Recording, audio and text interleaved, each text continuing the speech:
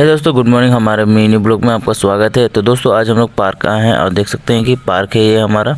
और ये देखिए पार्क का, इधर भी पार्क बन रहा है दोस्तों, अभी तक बना नहीं है। और देख सकते हैं ये पार्क का गेट है और हम लोग जा रहे हैं अभी।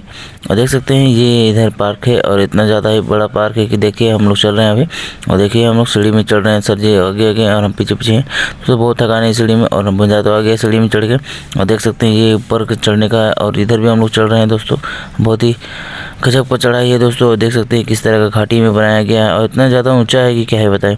देख सकते हैं इधर का जंगल दोस्तों, पूरा हरा भरा है। देख सकते हैं कितना ऊँचा जगह में दिख रहा है। और दोस्तों हम लोग पहुँच गए और देख सकते हैं हम लोग यहाँ देख रहे हैं, देख लीजिए किस तरह का खाई लेकर जा रहा है। तो हमारे ब्लॉग में कैसा लग रहा है दोस्तों? मिनी ब्लॉग में आप चलते हैं। थैंक यू दोस्तों।